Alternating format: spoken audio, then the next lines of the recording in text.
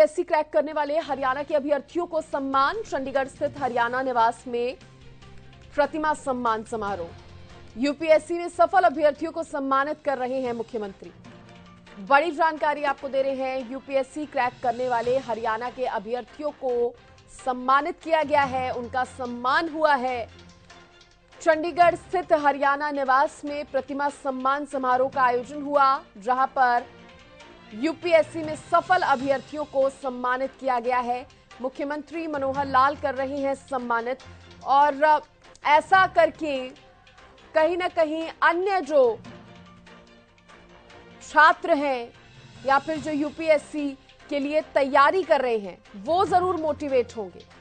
और साथ ही इस तरह से सम्मानित करना यूपीएससी क्रैक करने वाले अभ्यर्थियों के लिए गर्व की बात है, और भी वो गर्व महसूस कर रहे होंगे।